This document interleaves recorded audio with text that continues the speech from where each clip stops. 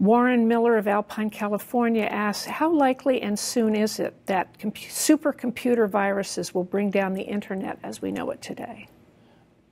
You know, computer um, advances uh, create leapfrog effects in security, um, and, and same in cryptology and code making. One advance makes it easier to break codes, another advance makes them, for example, e easier to and harder to break, easier to keep.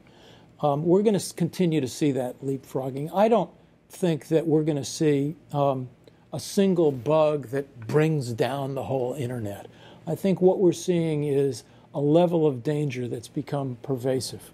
We, you know, the more things you connect, the more the easier it is to bring down lots of things at one time. We're now pervasively connected, and that's and we like that. It's created tremendous productivity for us, and not to mention pleasure but it's also created great danger that we never faced before. Joel Brenner, thanks so much. Pleasure.